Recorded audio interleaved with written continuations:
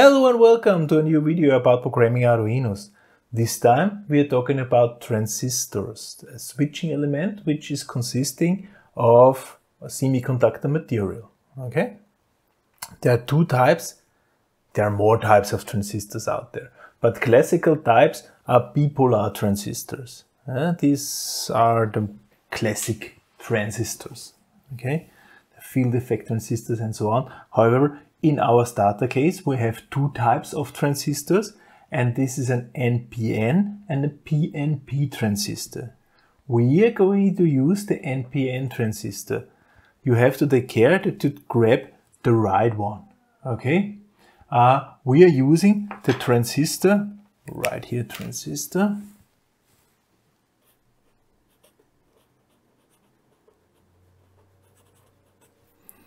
NPN and the type we are using is this S8050.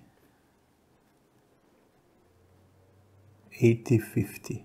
Okay.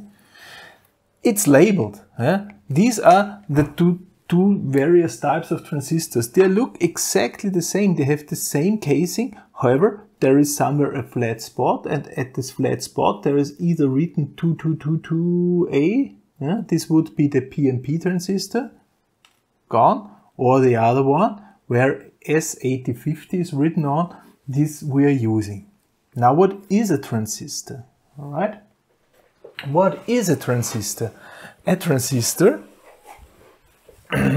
if we I draw now the symbol of a transistor, yeah, transistor symbol looks like this.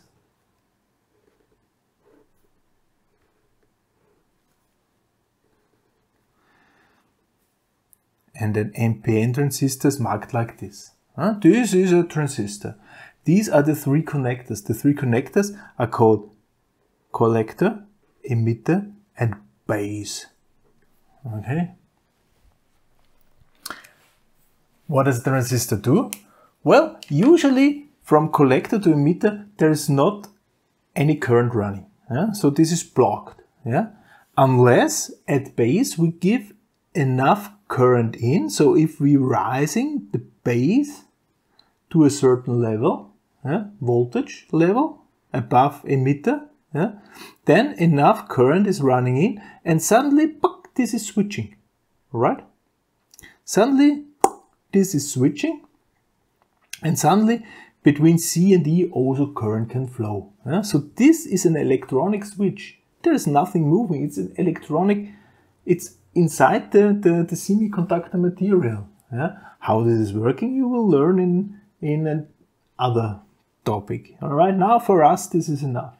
Okay, so whatever at B is more voltage than E, yeah, depending a little bit on the material, or a little bit, depending on the material of the, of the semiconductor, uh, we have here a voltage of around 0.6 volts. So you see, it's not even much. 0.6 volts. And that's it. Okay. With this voltage, we make this conductive. Huh? So suddenly we can switch. Huh?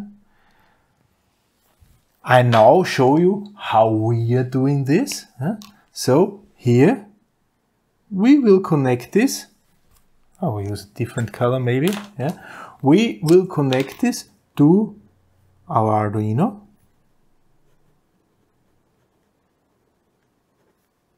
Arduino yeah. out. So we have a plus 5 volt maximum. Okay. Here we have some background, of course, of the Arduino. Here we have 0.6 volts. Yeah? And here we are also going to have a power supply plus 5 volt. Okay. And here we are producing our load. Yeah? This is the load. This is we want to turn off and on. Yeah? So here the rest, here we have our 5 volts If we have here 0.6 volts, we have here around 4.4 volts left. Okay? This is not a very usual way of doing this. This is not a very usual, but if we have a different voltages than, than plus 5 volt, here we have plus 5 volt at the base. Here we have plus 5 volts, so there is no difference. Yeah? If we have here different, let's say 12 volts, yeah? then we have here 5 volts, yeah? here 4.4 volts, so we have here between 12 volts and 4.4 volts, we have 6, 7.6 volts. Yeah? And the current running, so with, between collector and emitter, we would have a pretty high voltage and a pretty high current, which means a pretty high, pretty high uh, power. So this transistor will get hot. If we are using here the same voltage than here, this is not an issue. If you would have such application where you have to use a higher voltage because the transistor is capable of switching higher voltages. This is not an issue for the transistor. Yeah. Then it would look like this. Yeah. So you have here the transistor. Put the emitter directly to the ground and put in here the load. And here you have plus V whatever. Then this is the load. And here we're going still to our switching, which is again 5 volt, let's say, because we said 5 volt is sufficient to turn it on, because we just need here, we have around 0.6 volts still, yeah? because we just need 0.6 volt to turn it on, okay? Base collector, emitter, yeah? And here we have 5 volts. This cannot be, so we need a suitable size base resistor where the rest can drop. Yeah? This is a little bit harder to, to calculate. Yeah? So this, luckily, luckily we do not have uh, this case. Yeah? So we do not have to take care about any base transistor, uh, uh, resistor. Uh, we just use it like this. Yeah? So, and now, how is the transistor? I mean, where is base, collector, and emitter? And of course, base is the middle one, but where is the collector and emitter? You can think about it like, like that, that this transistor, there's a flat spot, and there is the casing, like this. This is now the top view, top. And then the middle one is the base. The upper one is the collector and the lower one is the emitter. If you're looking from the bottom, it's of course the other way around. Yeah? This is why I write top view. I wrote here top view.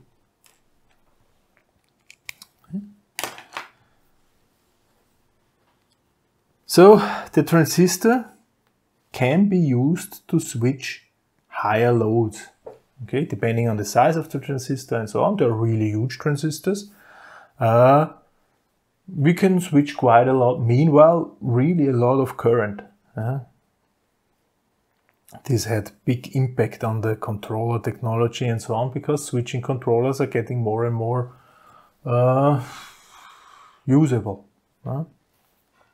So, uh, next time I will show you, next time we will discuss here DC motor. We also have the DC motor in our package and we will use a transistor to switch the DC motor.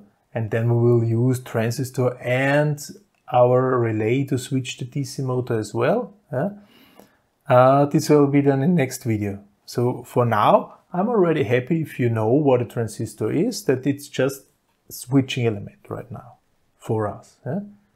Transistors have more meanings. They can also gain something and so on. Uh, but we are using it as switching element. So this knowledge should be enough for us right now. For this time, thank you very much for listening. Goodbye.